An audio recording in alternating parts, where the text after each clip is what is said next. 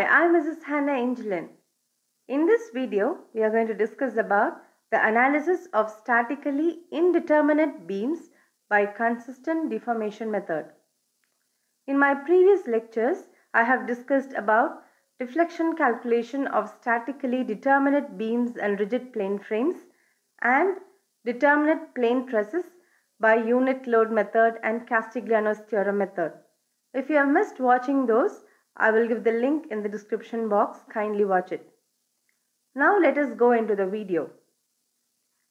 These are the basic relations you should know for solving statically indeterminate beams by consistent deformation method. A cantilever beam with the load at the free end, the slope and deflection expressions are shown here. If there is a moment at the free end, corresponding expressions are shown. If it carries UDL, next a simply supported beam with a central point load, the values of slope and deflection under the load is shown here. Again, a simply supported beam with UDL that is shown here. So whichever is relevant for our problem, we are going to consider from this set. Take the values of deflection and slope for solving by consistent deformation method. In consistent deformation method, degree of static indeterminacy is dealt. For a roller end, the number of unknowns at the support, that is the unknown forces at the support is 1, that is in the vertical direction. At the hinge end, there are two unknowns, one in the horizontal, one in the vertical direction. So the number of unknown forces at a hinge support is 2. For a fixed support, there are three unknowns, horizontal, vertical and angular direction. Number of unknown forces in a fixed support is 3. With the knowledge of this, we shall see how consistent deformation method is used for analyzing statically indeterminate beams. Let us see the analysis procedure of consistent deformation method for indeterminate beams. In this method, redundant forces are identified by removing restraint in the direction of the forces. The released structure is obtained. In this released structure, displacements are obtained in the direction of redundant forces. Then the displacement due to each redundant forces are obtained and the condition of displacement compatibility are imposed to get additional equations. Solving these equations, we get the values of redundant forces. Let us see few worked out examples. This is a propped cantilever beam carrying uniformly distributed load of intensity W per unit length. We are asked to determine the reaction components that is RA, RB and MA. Since there is no horizontal loading, HA is 0. Now the solution. First step, calculation of degree of static indeterminacy. Degree of static indeterminacy is determined as capital R minus small r. Small r are the available static equilibrium equations. We have learned about this in our first few lectures. Capital R is the number of unknowns at the support. Here you have a fixed support. Here a roller end. So three reactions. One reaction here, totally four. Small r available equilibrium equations are three. So degree of static indeterminacy is 1. So there is a redundant force in excess that makes the structure indeterminate. We can tell redundant as the excess force available in the structure. Let us choose RB as a redundant force. If the redundant force is removed, the beam is a determinate one. By removing the redundant force, we can find the deflection at point B let us take the deflection is delta 1. When redundant force B alone is acting, it will push the beam in the upward direction. Let us take the deflection as delta 2. For consistency of deflection at B, delta 1 should be equal to delta 2. For a cantilever beam with UDL throughout, the deflection at the free end we get from the basic expressions. Delta is given as W L power 4 by 8 EI. acting in the downward direction. For a cantilever beam, if there is a concentrated load at the free end, the value of deflection is load into L cubed by 3EI.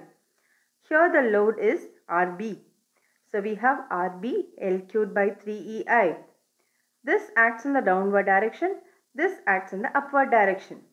For consistency condition, we can write the equation delta 1 downward equal to delta 2 upward.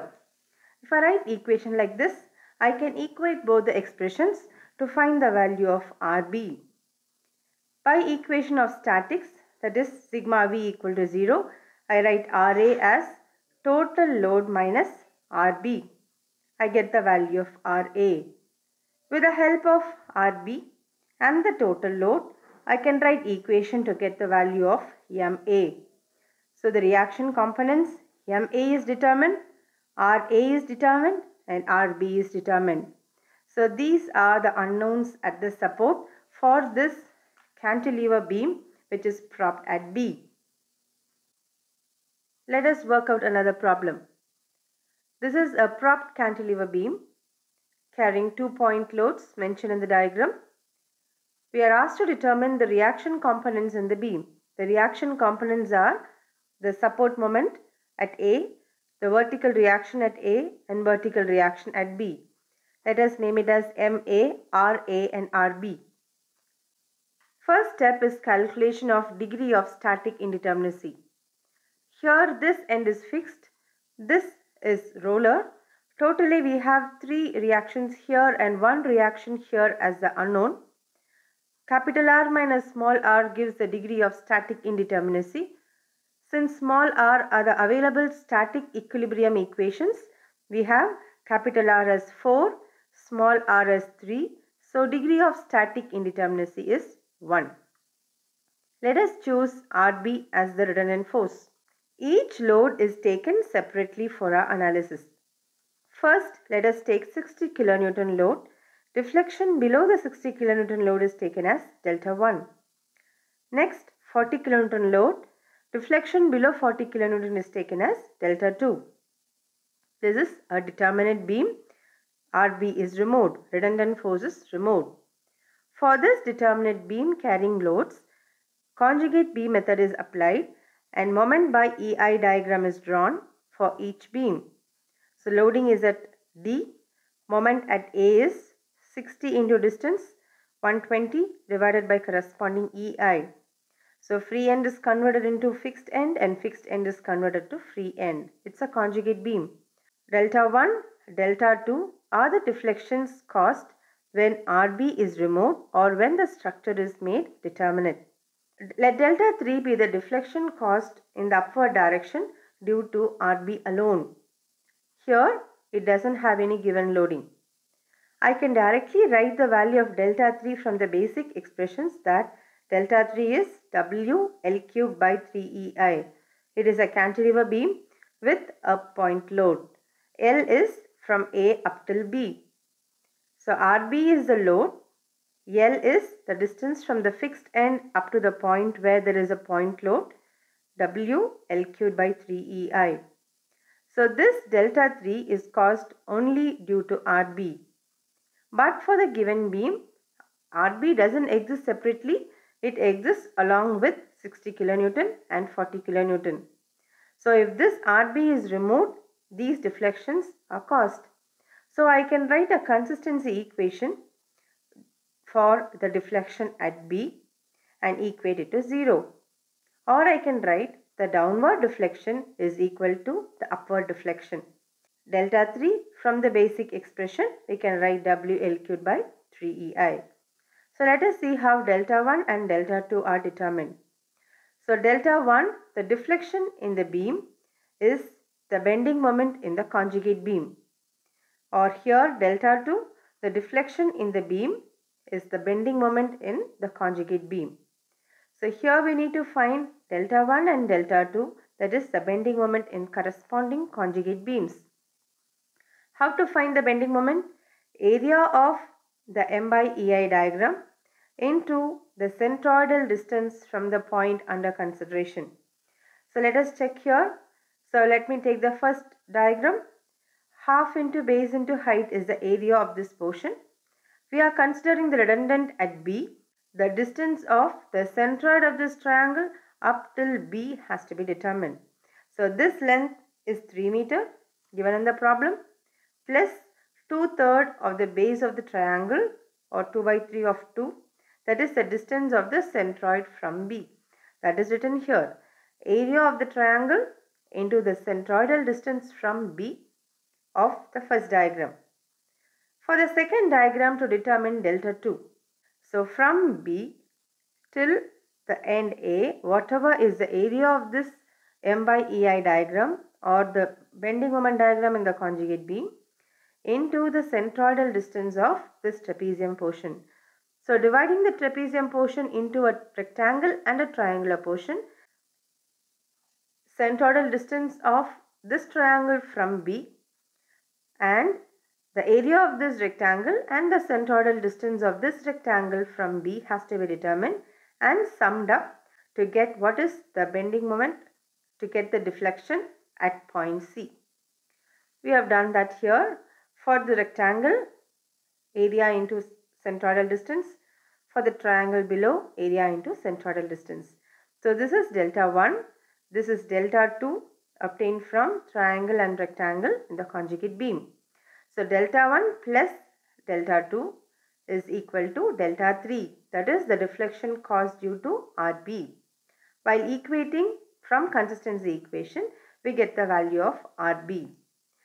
RA is equal to total vertical load minus RB and finally determining MA taking moment of all loads and reactions about A we get the value of MA.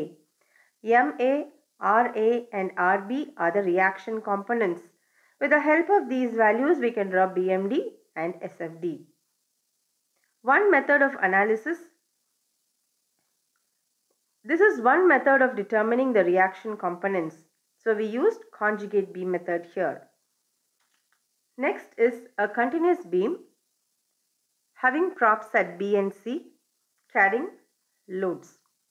We are asked to find the reaction components. Here the reaction components are RA, RB and RC and MA. HA is 0 because no horizontal loading. First step calculation of static indeterminacy. Here there are three reactions. Here one reaction, here one reaction, totally five reactions and available static equilibrium equations are 3. So R minus R is 2. So there are two redundant forces or forces in excess that are to be determined more than the available equilibrium equations. Let us choose RB and RC as those two redundant forces. Now the given beam is drawn here. If support reaction at B and C are removed, it becomes the determinate beam that is drawn here. So if support reaction is removed at B and C has vertical displacement. So let us consider at joint B, let us name it as delta 1B. At joint C, let us name it as delta 1C. This is the deflection drawn due to the given loads. Next, this is a deflection diagram drawn only when RB is acting on the beam. Let us consider the vertical upward displacement at B is delta 2B and the vertical displacement at C due to RB is delta 2C. Same way, if only RC is acting on the beam, RC force is acting on the beam, that is redundant force, the deflection at B joint, let us consider delta 3B and deflection at C is delta 3C. By consistency of deflection at B, we can write the downward displacement is equal to the upward displacements. So I can write delta 1B acting downward direction is equal to delta 2B plus delta 3b. Same way for consistency of deflection at C, I can write delta 1c acting in the downward direction equal to the summation of delta 2c and delta 3c. That is what is shown here.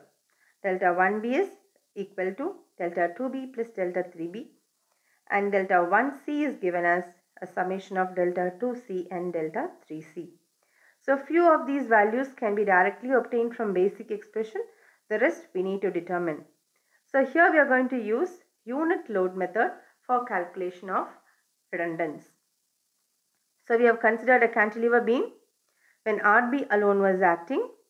So the deflection at the point where load exists, it is nothing but like a cantilever beam with the loading at the free end. We know it is W L cubed by 3EI. L is the distance from A up till the force here. Next, to find delta 3C again, it is like a cantilever beam carrying a point load at the free end. So to determine delta 3C, we have basic relation W L cubed by 3EI. W is RC. L is the distance from the fixed end up to the reaction. So L is 7 meters, L cubed by 3EI. The rest of these values we need to determine. What is delta 2C, delta 3B we need to determine. Now check this. We are going to determine what is the value of delta 2C.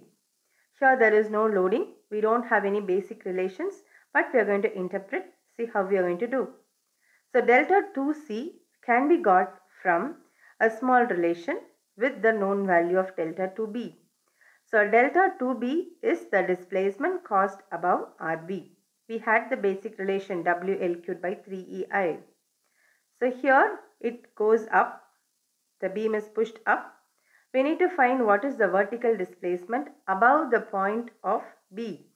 So from the baseline till this point we know it is delta 2B and above that we need to calculate what is the vertical distance from the small triangle. We know this is theta, angle of deviation. If this is theta, that is the slope, the opposite side can be denoted by theta times the base length. 4 times theta gives us the vertical distance, theta being very small, that is the slope. So we know the summation of these two will be the vertical displacement at C due to RB. So here delta 2b plus the top 4 theta that is nothing but from the small triangle base length is 4 and theta is given here. So the vertical distance is base length into the slope theta gives us 4 theta. So delta 2c equal to delta 2b plus 4 theta. We have the relations for delta 2b we have determined already like a cantilever beam carrying a concentrated load WL cubed by 3EI plus 4 times theta. Theta is nothing but the slope of a cantilever beam. Slope of a cantilever beam is given as WL squared by 2EI. These are the relations which I mentioned in the first few minutes of this video. So finally I get a relation of delta 2C in terms of RB. So there was a loading at RB and we determined what is the displacement at this point C. We have seen Maxwell's reciprocal theorem already in our previous videos. Maxwell's reciprocal theorem states that the deflection at one point due to a unit load at the other point is equal to the deflection at the other point due to the unit load at this first point or I can write it as delta ij equal to delta ji. So to write this statement, we should take the load as unity. So let us take RB as unity in equation 1. So what we have written, there is a load here. We have determined what is the deflection. Our next step is to find what is the deflection at B when there is a load at C. That is delta 3B has to be determined. To determine 3B, if I am going to take RB as unity, then I will get an expression at C such that if RB is unity, I can find what is the displacement. I can interpret by Maxwell's reciprocal theorem if RC is unity, what can be the displacement. That is what is shown here, deflection at B due to unit load at C. So this can be determined from the previous step which I have determined that is deflection at C due to unit load at B. That is in the previous case. Deflection at C due to unit load at B. So if I'm going to put RB as unity, I will get the deflection at C. The same value by Maxwell's reciprocal theorem I can interpret to take the value for delta 3B. So delta 3B is 27 by EI. This is for unit load. If I need for RC value, for RC, what is the displacement if I need to determine? I can just multiply this value of unit load with RC to get the total displacement due to RC. So we have used Maxwell's reciprocal theorem to determine delta 3B from delta 2C. We have determined all the values of delta 2B, 3B, delta 2C and 3C. Now we need to find what is delta 1B and delta 1C. Those two are the downward displacement or in other words what is delta VB vertical displacement at B and delta VC what is the vertical displacement at C. So downward displacement in this determinate beam with the given loading can be determined by unit load method. Then after finding the downward displacements, these downward displacements at B and C can be separately equated with the upward displacements caused due to the redundant forces RB and RC. This is a cantilever beam with the given loads. Our aim is to find the vertical deflection that is the downward deflection at B and C by unit load method. Here we need to write capital M expression, small mb expression to determine the vertical deflection at B, mc expression to write the vertical deflection at C. To write expressions of small m, we need to give a unit load only in the vertical direction at the corresponding points. To determine deflection at B, unit load is given at B. To determine deflection at C, unit load is given at C. Sections are taken uniformly in all the three beams. Origins are taken from a common point for each segment.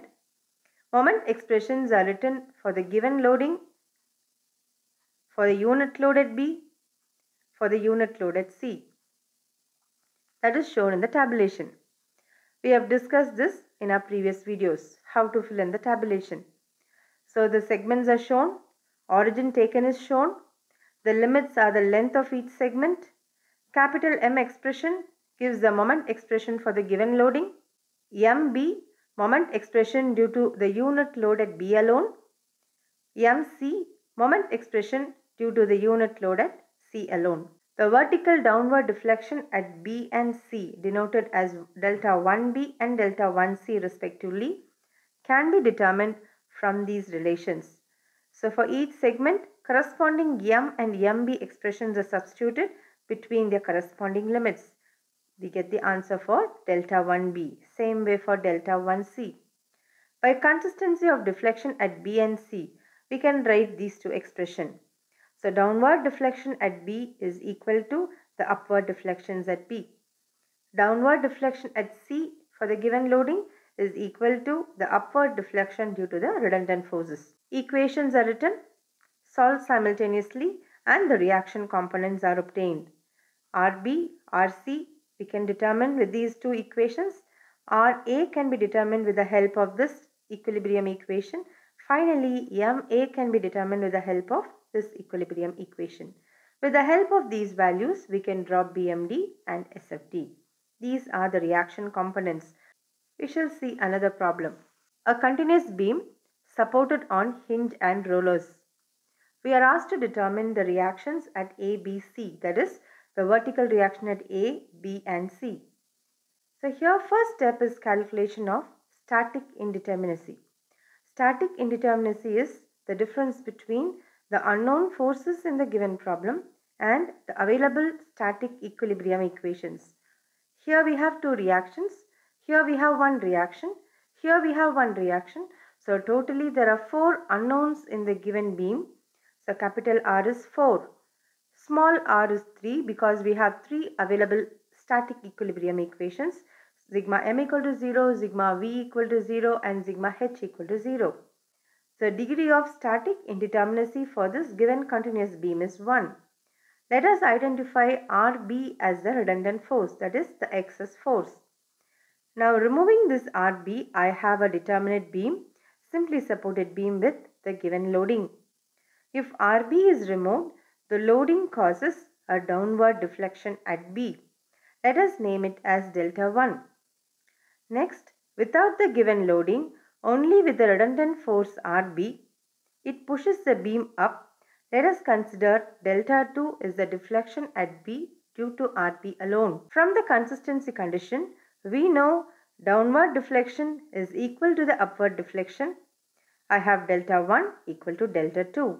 It is like a simply supported beam with an eccentric loading. We have the basic expression. We can substitute the values of A and B and L to get the deflection at B. A is 4 meter, B is 6 meter. So let us determine what is delta 1. With this equation, let us determine delta 2. Equate both to find the reactions RB, then RC and RA. Here, unit load method is adopted to determine delta VB or delta 1 that is the downward deflection. Capital M expressions are written for moment taken about each section in the given beam with the given loading alone. Small mv expressions are written for the same sections with the unit load at B alone because we are going to determine the vertical deflection at B that is the downward deflection. To write moment expressions we need to know what are the reactions RA, RC in the given loading. Same way what are the reactions at A and C due to the unit load that is made a note here. So with these values the tabulation is filled in. Portions selected are shown. Variation of EI is mentioned. Origin is shown here. Limits are the length of each segment. M denotes bending moment expression about the sections considered in each segment. MV moment expression about the same sections due to the unit load. Finally, delta 1 that is the vertical deflection can be determined with this relation and I'm going to equate this with the upward deflection due to RB. From the consistency condition, delta 1 is equal to delta 2 that is the downward deflection at B is equal to the upward deflection at B. This is caused due to the given loading alone in the determinate beam. This is caused due to the redundant force RB in the simply supported beam. So values we obtained from the basic relations we have the formula W A squared B squared by 3 EIL. The values are substituted. Finally, I will get the value of RB. Making use of this static equilibrium equation, sigma m A equal to 0, taking moments of all the loads and the reactions about A is 0. RC is determined. Making use of this static equilibrium equation, sigma V equal to 0, I can find RA. That is, RA plus RB plus RC is equal to the total vertical load on the beam. So I can find the value of RA. Till now we were discussing about the determination of reaction components that is the unknown forces at the support in indeterminate beams. Till now we learnt about the analysis of statically indeterminate beams by consistent deformation method. By selecting the redundant force releasing the force and making the structure determinate and then proceeding we get the values of the reaction components. So analysis by consistent deformation method can be done with the help of conjugate beam method or with the help of unit load method. Thank you.